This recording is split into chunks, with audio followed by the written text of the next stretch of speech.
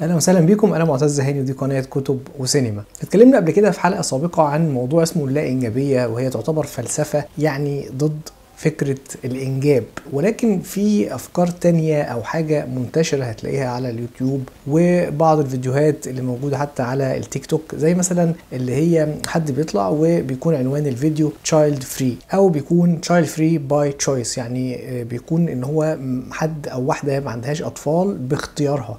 مش مجبرة على كده. يعني مثلا ما عندهاش حالة طبية مضطرة إن هي ما تجيبش أطفال ولكن هي اختارت إن هي يعني لا تنجب أطفال سواء باختيارها أو اختيار شريكها في الحياة وهي مثلا موافقة على الكلام ده. الحقيقة مع تردي الأوضاع الاقتصادية زي مثلا في مصر وبعض البلاد ففي ناس كتير بدأت تراودها الفكرة دي حتى لو متجوز ممكن يقول لأ ده أنا يعني إن أنت تجيب أطفال في الوضع الاقتصادي ده أصبح حاجة صعبة جدا. ففي ناس بدأت تفكر في الموضوع ده أكتر من أي وقت سبق. وده من أسباب الموضوع ده أو من أحد أسباب إن الناس ما بتجيبش أطفال لهذا العالم.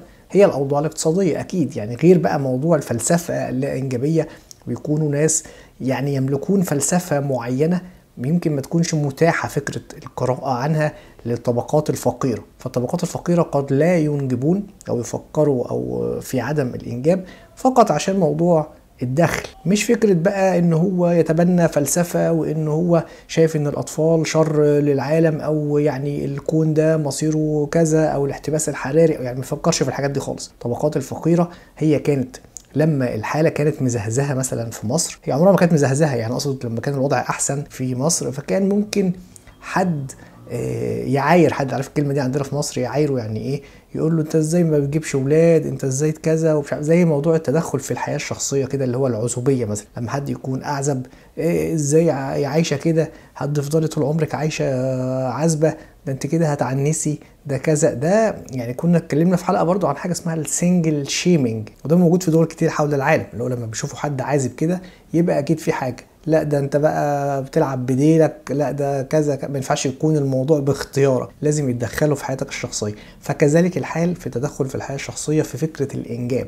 لو جيت كده في مجتمع طبقات فقيرة يعني أو عندهم برضو بعض الناس اللي عندها نوع من الجهل بالفكرة دي تيجي تقول لهم أنا مثلا child free أو مؤمن بالفلسفة اللا انجابيه فهيقولوا لك يعني ربنا يشفيك. يعني هم بالنسبة لهم أنت كده مريض يعني خلاص ما أنت بقى أكيد في حاجة غلط. لأن الموضوع مرتبط شوية بزيادة الوعي. فكرة يعني الفكرة دي بان الواحد ما يجيبش أطفال طبعا انتشرت في أمريكا وفي أوروبا وكذا وهنشوف أثارها الإيجابية وأثارها السلبية ولكن هي اختيار في الأول وفي الآخر مش من حق حد إن هو يتدخل فيه أو يصفك بالأنانية ودي من أغرب الاتهامات اللي ممكن تواجه حد إيه مش عايز يجيب أطفال. يعني مثلا حد يجي يقول لك إيه لا ده أنت كده أناني عايش لنفسك. آه طب ما هو طبيعي ما هو أيوه أناني عايش لنفسي يعني أو بحب نفسي ده مش اتهام. أو أنت بتلوم على شيء غير موجود هو يعني منطقيا شيء غريب جدا. بمعنى إيه؟ يعني لو أنت عندك ولد وتخليت عنه وسبته كده ورحت تعيش حياتك ممكن يقول عليك أنت أناني لأن فيه ولد موجود بالفعل. إنما إزاي أصلا إن إن في اختيار؟ إن مفيش ولد وبتقول أناني. يعني كأن الجملة بتتقال أنت أناني لأنك بتحب نفسك أكتر من اللا شيء. ما هو لا شيء. ولد لم يؤتى أو لم يأتي للعالم أصلا. ففين الأنانية في الموضوع؟ يعني إيه بتحب نفسك أكتر من الولد اللي أنت ما جبتوش؟ ما أنت ما جبتوش أصلا. ففين المنطق في هذه الجملة؟ فقد يرى الطرف الآخر إن الأنانية عند اللي بيخلف. يعني اللي هم اللا إنجابيين أو حتى اللي اختاروا إن هم يكونوا child free أو بدون أطفال. ممكن يبص للطرف الثاني اللي بيجيب ولاد كتير ده لا ده أنت اللي اناني بقى مش أنا. ليه أنت عمال تجيب ولاد كتير وما معكش الدخل الكافي وما بتعلمهمش كويس وعمال ترميهم في الشوارع وما بتاكلهمش كويس وما بتعيشهمش كويس؟ انت فقط جايبهم عشان يخدموك. وتقعد تقول إيه عشان لما أكبر يكونوا ولادي حواليا. أنت اللي آناني. فهي الاتهامات متبادلة في كل الأحوال. فناس كتير جدا بتطلع سيدات بيطلعوا على اليوتيوب قنوات أجنبية بتقول إن هي child free by choice أو إن هي ما عندهاش أطفال باختيارها مش لسبب قهري. وكذلك على التيك توك في قناة أصلا بتجيب فيديوهات برضو مترجمة كده اسمها Child Free Arabic وفي اختلاف بين فكرة عدم الإنجاب أو اللي هي childlessness واختلاف بين اللا انجابيه اللا انجابيه فلسفة إلى حد ما ويعني فيها معاداة كده لفكرة الإنجاب وإن الكون مش مستحمل وإن وإن. بينما فكرة عدم الإنجاب كده فقط اللي هي هذا المصطلح لا ده موضوع تاني خالص. أو هو بتطلع تقول أنا مش مش بعادي الأطفال ولا حاجة أو مش بعادي فكرة الإنجاب عند اللي عايزين ينجبوا ولكن أنا ليا أسبابي الشخصي وحريتي في جسمي مطلقة. أنا حره بقى اخلف ممكن خايفة على جسمي بعد الولادة خايفة من اكتئاب ما بعد الولادة. ايا كان السبب أنا حره أنا وشريكي في الحياة. فده المصطلح أو اسمه childlessness يعني عدم الإنجاب.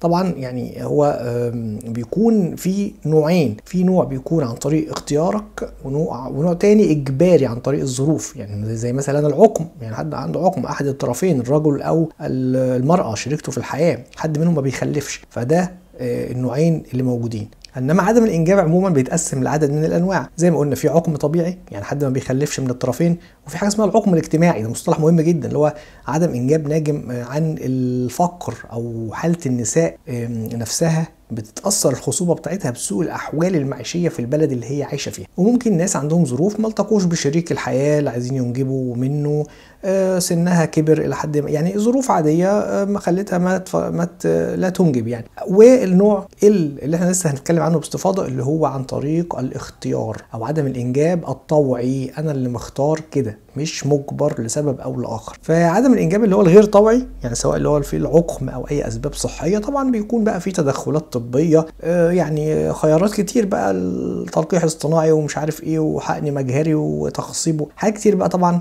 يعني آه، عند الأطباء وفي حلول موجودة يمكن أكتر في العالم الغربي مش مش موجودة عندنا في الدول العربية حاجات زي مثلا تأجير الأرحام والتبني حاجات كده عندهم في بعض الدول. وطبعا آه، الموضوع ده أثر حتى سياسيا يعني في فكرة إن أنت حد ما يجيبش أولاد أثر سياسيا على مدى التاريخ. يعني زي ما بنقول مثلا آه، هنري الثامن ملك إنجلترا قبل كده كان طلق زوجته كان متجوز منها أكتر من 20 سنة لأنها ما جابتش وريث ذكر للعرش.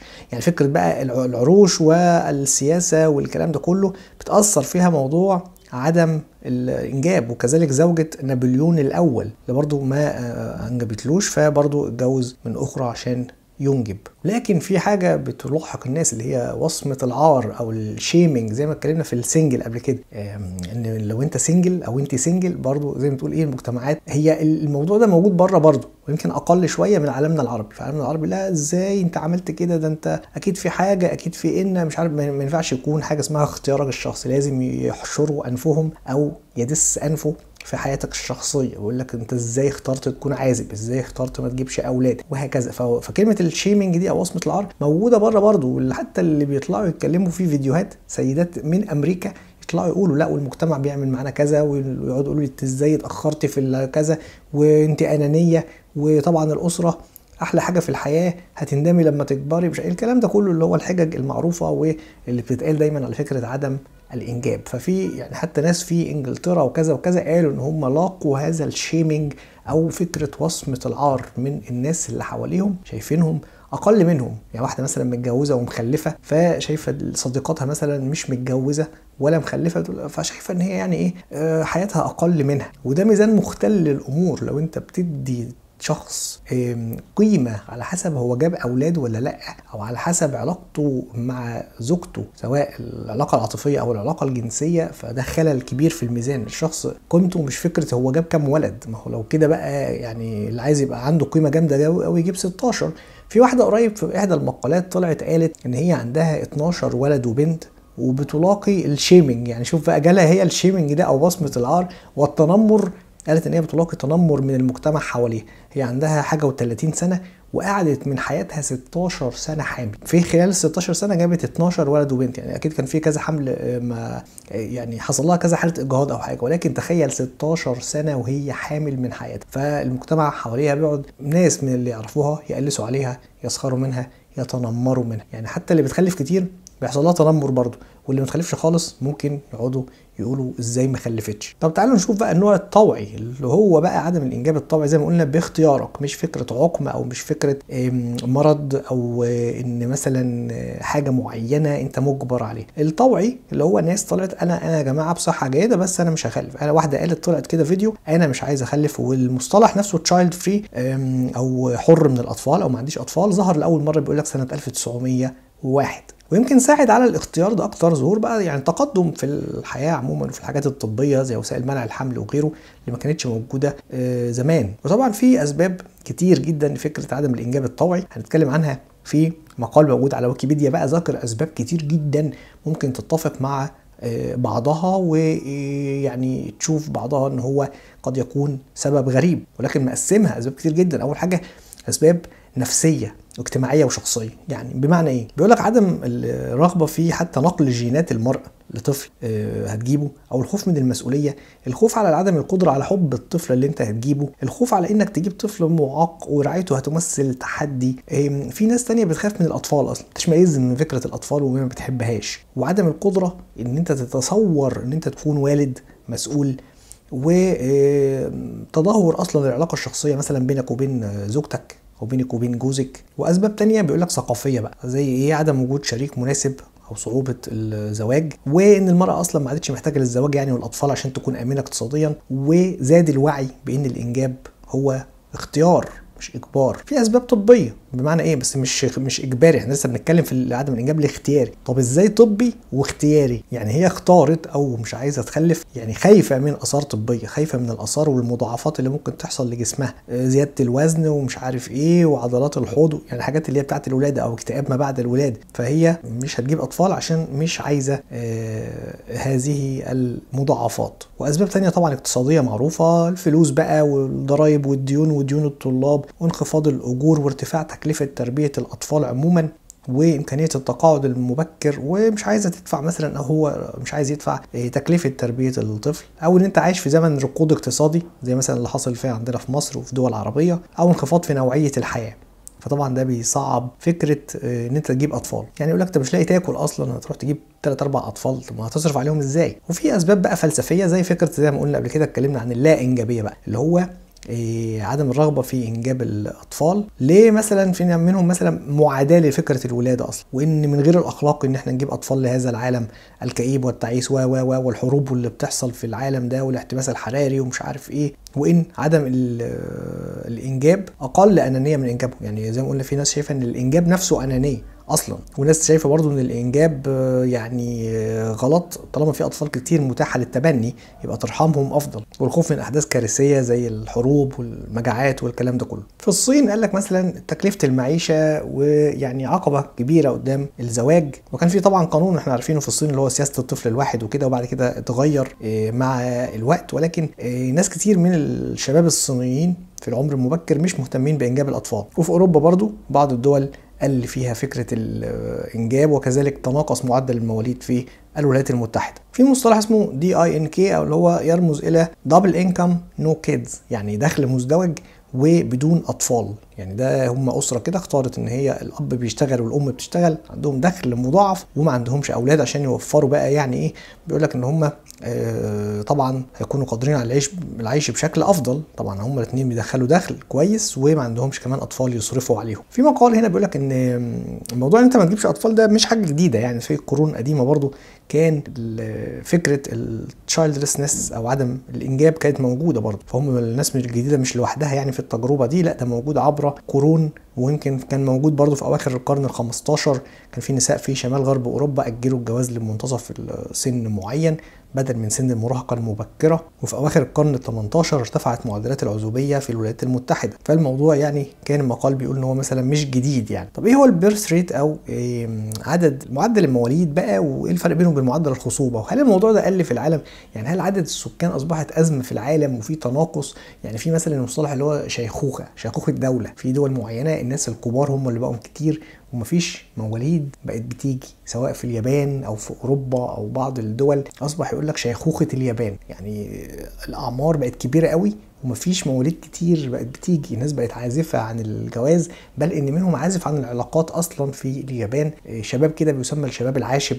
مصطلح كده كنت اتكلمت عنه قبل كده يعني هم إيه بيبعدوا أصلا عن فكرة العلاقات وحتى الممارسات الجنسية والكلام ده كله ومش عايزين أي نوع من هذه العلاقات. فده أدى طبعا لانخفاض المواليد الجداد في اليابان وزاد بقى يعني الرعايه الطبية جيدة جدا هناك فزاد الرعايه الطبية ففي كبار السن هم اللي موجودين. أكتر من الأطفال والشباب. فالبيرث ريت ده أو معدل المواليد ده إيه بقى؟ اللي هو تعريفه يعني إجمالي عدد المواليد الأحياء لكل ألف نسمة. لفترة معينة مقسوم على طول الفترة بالسنوات. بيطلع معدل اللي هو معدل المواليد أو يسموه معدل المواليد الخام. لما يتم طرح معدل الوفيات من معدل المواليد يديك معدل الزيادة بقى زيادة السكان يعني. فكرة عدم الإنجاب عموما شوفوا الرسمة دي كده بيقول لك مثلا في سن ال 30 عدم الإنجاب بالنسبة لزمان كان 28% آه الأجيال اللي بعد كده في الخمسينات كانت 30% ثم زادت بعد كده. كل ما يمر العمر عمالة تزيد فكرة عدم الإنجاب بقت 45% لما سألوا مثلا النساء في هولندا عن أسباب إن هي مش عايزة تجيب أولاد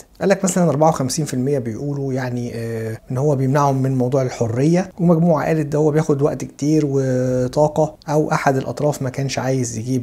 أولاد ومش عارف مثلا يجمع بين الشغل والأولاد وأسباب مختلفة يعني. وفي طبعا قالوا عن التكلفة المالية. فدي عدد من الأسباب المختلفة لما عملوا كده إحصائية للسيدات في هولندا. كل حد عنده سبب طبعا مختلف. تعالوا نشوف البيرث ريت أو الموضوع المعدل المواليد من 1950 لتوقعات لعد 2050 شايفين بيقل إزاي؟ يعني كان مثلا 36.9 من عشرة زمان متوقع يكون في 2050 14 و6 من عشرة عند أقل مستوى ليه وعمال يقل كل فترة بسبب الأفكار اللي بتطلع عن موضوع عدم الإنجاب واللا انجابيه وخلافه. طبعا بالنسبة للحكومات هو موضوع مقلق يعني لما بيقل قوي معدل المواليد بيبدأوا يعملوا حاجات محفزة بقى يعني حوافز مالية أو يوفروا خدمات للام أو الكلام ده كله عشان يشجعوا الناس على المواليد.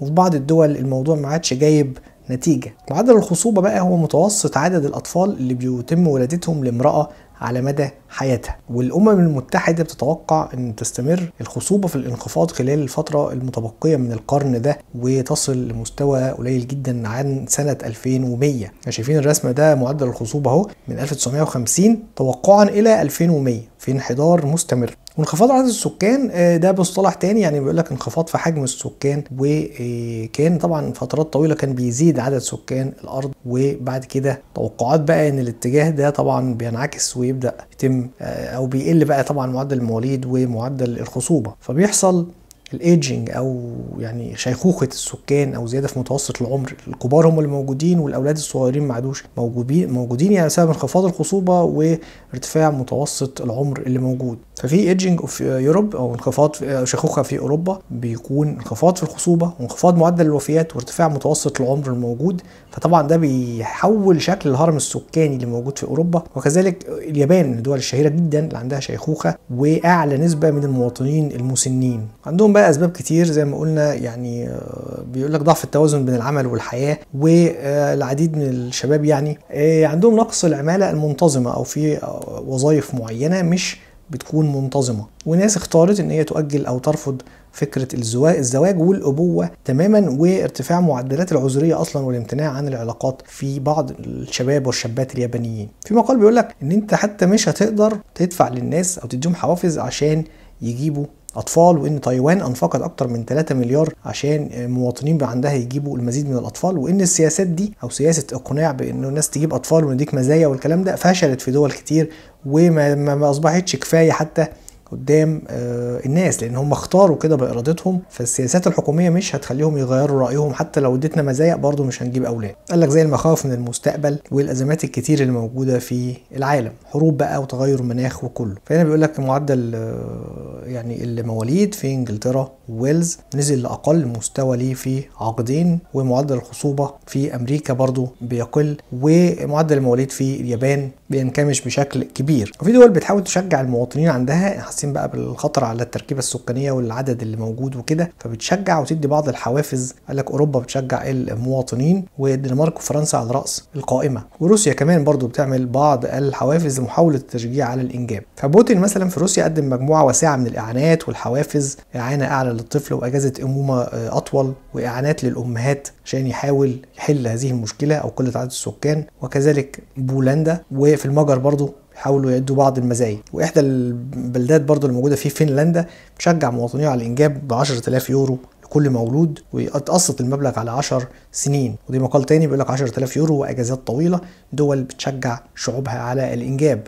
واتكلموا برضو عن بعض الأشياء في آه، روسيا ومزايا مختلفة في عدد من الدول. ولكن الموضوع ما بيفلحش في كتير من الدول تديهم مزايا تديهم أجازات تديهم أي حاجة هم خلاص رافضين هم شايفين إن ده عبء. صحي واقتصادي وغيره حتى لو هتدينا مزايا. هم خلاص الفكرة في دماغهم عند ناس كتير وهي حرية شخصية في الأول وفي الآخر مش من حق أصلا دولة مثلا تجبر مواطن على الإنجاب. افرض هو عايز يعيش سنجل أصلا يعني مش عايز يجيب أولاد مقتنع بفلسفة معينة عنده ظروف صحية. ايا كان السبب في أسباب كتير جدا. شفنا يعني الأسباب عاملة إزاي؟ أكتر من 50 سبب. يعني لو واحد عنده سبب واحد بس هو حر. يعني مش لازم يكون عنده ال 50 مجتمعين اللي هي أسباب صحية واقتصادية وبيئية وفلسفية واجتماعية.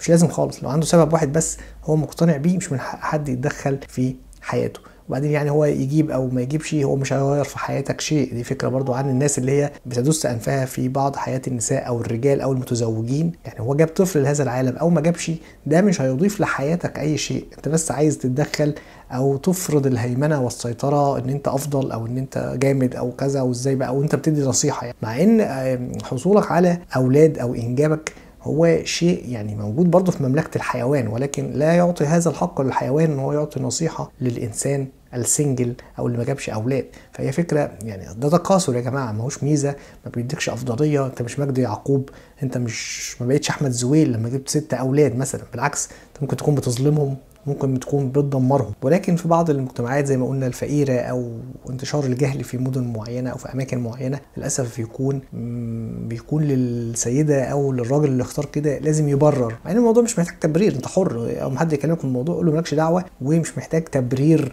كأنك في محكمة وبتتحكم عشان ما جبتش أولاد. طبعا فكرة جنونية واعتقاد للبعض إن هي شيء واجب ولازم يحصل. يمكن زمان كان أكتر الشيمنج اللي بيحصل زي ما قلنا أو وصمة العار أكتر. ليه بقى؟ لأن كان لسه ما فيش بقى نت وما فيش يوتيوب والناس ما كانتش عرفت الأفكار دي والفلسفات دي وإنها موجودة في العالم أجمع فكانت حاجة غريبة قوي. أو حاجة يعني مش متخيلة إن حد ما يجيبش أولاد. لكن دلوقتي ناس بتطلع تعمل فيديوهات عن هذا الموضوع. ستات كتير بتطلع بتقول ليه اخترت ما أجيبش أولاد؟ ليه أنا child free مش عارف إيه. فالفكرة بدأت توصل للعالم. فاللي عايز يقتنع يقتنع واللي مش عايز وعايز يعمل أسرة هو حر حسب دخله حسب إمكانياته. أهم حاجة هتعامل الأولاد كويس ما تجيبهمش العالم وترميهم أو تظلمهم أو تطلق مثلا الأم وتسيب الأسرة بالكامل وتمشي أو تعامل الولد بشكل سيء أو طول النهار معيشه في حبس وكذا كذا. يعني في أسباب كتير قوي إن أنت أصلا ما تجيبش أولاد لو أنت مش قادر نفسيا واجتماعيا وماديا على هذا الأمر لأنها مسؤولية كبيرة جدا. لو أنت بقى قادر قادر على كل شيء وعندك الرغبة أنت حر. لا ش... مفيش حد بيقول لك بقى العكس. العكس مش موجود. اللي هو في حد يجي يقول لك أنت إزاي تجيب أولاد؟ لا براحتك خالص هات. ولكن فكرة التدخل جاي من الطرف الثاني اللي هو اللي بيجيب أولاد يتدخل في حياة الغير منجبين. أنتوا إزاي ما بتجيبوش أولاد؟ يعني فكرة الحشرية ودس الأنف جاية من طرف المنجبين نفسهم. ولكن اللي هو اللا إنجابي هو حر يعني ما بيدسش أنفه في أمر الآخرين. هو بيقول أنا لا إنجابي وخلاص. كمان من النكت اللي موجودة في عالمنا العربي إن أنت ممكن تسمع النصيحة دي من حد هو حياته بائسة أصلا وأنت ما بتصرحوش بكده. يعني معنى إيه؟ ممكن واحد أو واحدة تقول صاحبتها إزاي ما بتجوزيش وبتخلفي إزاي عايشة single كده؟ الغريبه ان النصيحة تكون جاية من مين؟ من واحدة مثلا عانت عانت كتير. في حياتها واتطلقت وعلاقتها مثلا بولادها وحشه فهي مش عايزة تحرجها تقول لها يعني هو انت بتنصحيني؟ ده أنت حياتك بائسة أصلا. بس هي ما بتقولش كده. فالغريب إن هم دول موجودين وبينصحوا لسه موجودين يعني يعني بتدس أنفها في حياة المرأة ال single أو اللي ما جابتش أطفال مع إن هي أصلا حياتها كلها مشاكل بسبب الزواج وبسبب الأطفال لأنها كانت من الأول غير جاهزة للموضوع ده. وعملته خلاص لأن هي قالوا لها هي دي سنة الحياة ولازم تعمليها. فدخلت في هذه المعمعة واتجوزت مثلا مبكرا جدا واتطلقت وجوزها رماها وعانت مع أولادها ومع ذلك لسه بتنصح وتقول ما تتجوزوا يا جماعة وتخلفوا. ده الموضوع ده حلو قوي. طب هل ده نوع من التدبيس يعني؟ طب انت يعني واحدة كتير على فكرة موجودين كده. هل هي بتحاول تدبس البنت التانية؟ يعني بتقول مثلا أنا عانيت كتير في حياتي فهحاول أوقع ستات تانية في المصيدة. اشمعنى هم يعيشوا أحرار أو يعيشوا براحتهم؟ لا لازم أوقعهم ولازم يتجوزوا ويخلفوا ويعانوا زيي. هل هل هم عندهم الفكر ده ولا بينصحوا من أي منطلق إزاي حد عانى في حياته بسبب الزواج ينصح بالزواج؟ أو حتى فكرة الظروف المادية. واحد مثلا أو أب أسرة بيعاني تماما من حياته آه اجتماعيا ومش قادر يصرف على عياله وطول النهار يصرخ بسبب ارتفاع الأسعار وتلاقيه في قاعدة كده يقول لواحد هو انت ما بتتجوزش ليه أو يقول لواحدة هو انت مأجلة الموضوع ولا إيه؟ طب بص على حياتك الأول يمكن هي برضو عندها سبب تاني.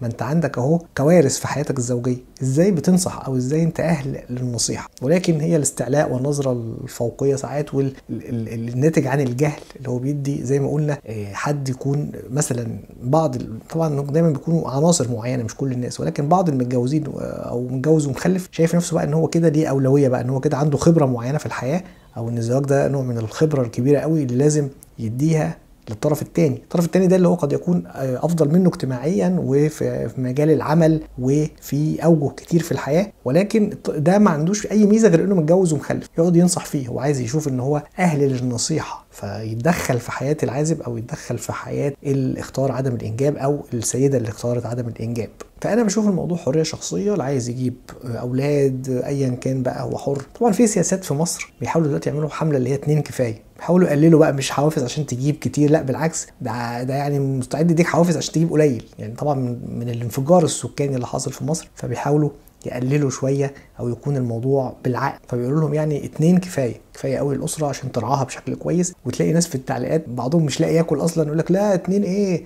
ده مش عارف رئيس الوزراء عنده كام واحد وأنا أجيب زيه أنا هجيب أربعة أنا هجيب ستة. انت ما تجبرنيش على مش عارف إيه. وهو أصلا يعني يكون قبلها مثلا كاتب بوست إن هو بيصرخ من الأسعار ومش لاقي ياكل. ومع ذلك الحكومة تقول له اتنين كفاية. لا اتنين إيه؟ أنتوا مش عارف إيه؟ أنتوا بتبلطجوا علينا. طب أنا هجيب ستة بقى وهو أصلا أي كلام وخلاص بيتكتب في التعليقات وهو مش قادر يجيب حد واحد عشان الظروف المادية دلوقتي صعبة طبعا على الجميع. فكل أسرة حرة في الموضوع ده. ما ينفعش حد يجبر حد على الموضوع ده ما ينفعش حد يدس أنفه في حياة أسرة أخرى هي اختيارها تجيب أو ما تجيبش. ده مش هيضيف لها شيء ده مش هيديها قيمة معينة.